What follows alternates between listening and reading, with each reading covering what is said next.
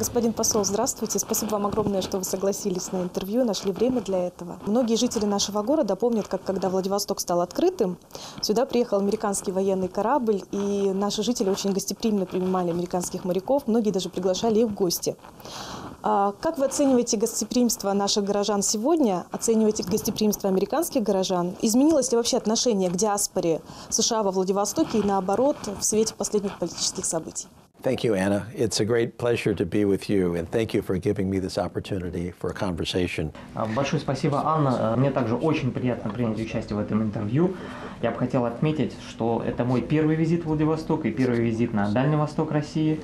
Это удивительный город э, и очень важный город. Uh, it is recognized as a crossroads uh, economically, from a travel tourism standpoint, Он находится на пересечении экономических путей, э, туристических путей, и он также важен с точки зрения безопасности. И мне кажется, будущее будет только подчеркивать важность этого города. I feel a warm welcome by people I've met here. В отношении же гостеприимства я лично чувствую именно теплоту, которая исходит от э, жителей города, с которыми я встречался, и то гостеприимство, которым, с которым я столкнулся. Я лично различаю именно политические аспекты людей и э, то, что исходит от людей искренне политика меняется к лучшему или к худшему, но люди всегда искренни. И я чувствую эту искренность, которая исходит от людей, их заинтересованность, их любопытство в том, чтобы узнать от представителей другой э, страны. The ship visits are uh, a manifestation of warmer ties. We should aspire to that. But Ну, конечно же, визит военного корабля это является всегда знаком потепления отношений между странами. А, Конечно же, сейчас а, такие визиты не имеют места, но тем не менее Соединенные Штаты и Россия сейчас работают вместе в области безопасности, в очень важной области безопасности, что связано с контролем над вооружениями. Это является важной областью как для Соединенных Штатов, для России и для всех стран мира.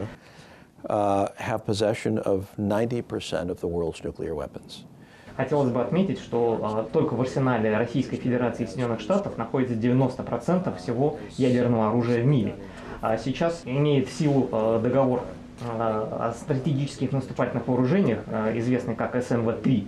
А, И недавно вступили в силу ограничения по количеству боеголовок, которые подразумеваются данным договором, и по количеству средств доставки.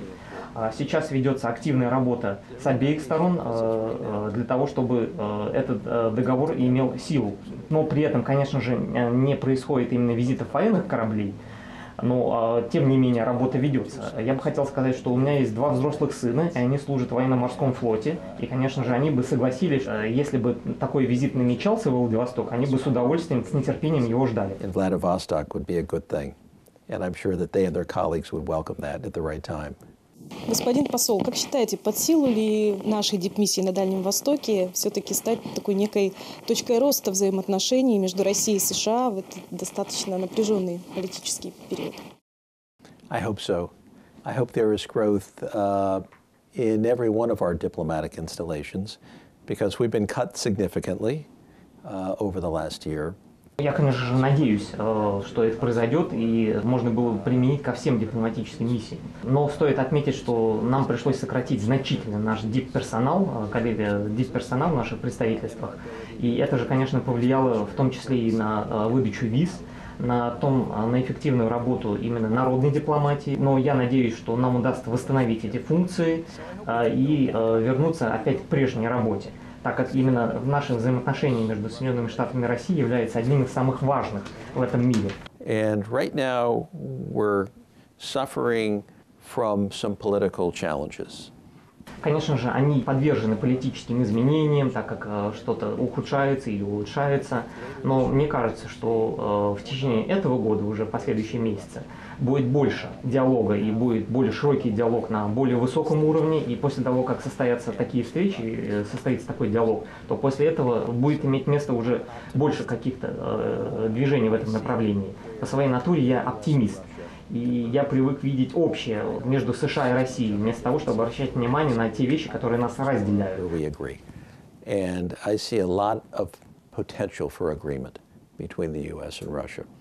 On economic issues, on security issues. Uh, Между нашими странами действительно очень много общего, то, что нас объединяет, как в сфере экономики, так в сфере безопасности, в сфере международных э, дел, то, что связано с контролем над вооружениями, по вопросам Украины, Сирии и даже по вопросу Северной Кореи. and without the United States and Russia, sometimes it's incomplete. Я бы даже сказал, без Соединенных Штатов и России э, миру будет сложно решить эти вопросы. И то, что нам необходимо сделать сейчас, это наиболее эффективно использовать дипломатические усилия для того, чтобы восстановить наши функции. Господин посол, сегодня на брифинге вы говорили э, о прогрессе во взаимоотношениях между Северной Кореей и США. Э, И, конечно же, я не могу не задать вопрос по поводу того, что Владивосток рассматривается как одна из потенциальных площадок для встречи господина Ким Чен Ына и господина Трампа. Так каковы, на ваш взгляд, шансы, что это будет именно наш город? My view is that Vladivostok is a world-class city. Владивосток это великолепный город мирового класса, и все возможно в Владивостоке. Но э, пока не было сделано официального заявления от э, Белого дома, и я бы хотел, чтобы именно такое официальное заявление о предстоящей встрече было бы все-таки сделано Белым домом. But what is significant is the fact that tensions have been lowered, that we have diplomatic channels that have been opened, Мне бы хотелось отметить, что уже уровень э, напряженности э, спадает, уже открылись дипломатические каналы связи. Это было невозможно представить буквально 6 месяцев назад. Э, Буквально перед нашими глазами сейчас делается история. Уже со стороны Пхеньяна было объявлено о приостановке ядерной программы. and, and weapons programs. So even before the summit takes place, uh. Даже еще саммит не имел места, но при этом мы уже увидим шаги, которые были проделаны в этом направлении. Это хорошо для всего региона Северо-Восточной Азии, для всего региона Восточной Азии и для всего мира в целом, так как именно риск, который исходил от Северной Кореи в отношении потенциальной ядерной войны, он был велик. А, И э, президент Трамп, когда получил э, послание от своего предшественника на президентском посту, э, в качестве проблемы и риска наивысшей степени, это именно была как раз ядерная программа Северной Кореи. Случится ли этот прогресс? И сейчас стоит отметить, что как раз эти действия, они происходят в этом регионе и перед нашими глазами, а случится ли это во Владивостоке или нет, это уже покажет история. Вы в прошлом рок-музыкант. Вообще это достаточно редко, когда человек политики является человеком творческим изначально. И еще вы самый молодой посол за всю историю США. Хотелось бы услышать ваше мнение по этому поводу, ваши мысли на этот счет. Очень интересно. Well, diplomats have to have rhythm too. Ну, дипломатам тоже необходимо какой-то ритм поддерживать. My dream was to be a musician. Моей мечтой было все-таки стать музыкантом, но мой э, музыкальный коллектив все-таки был не настолько успешным.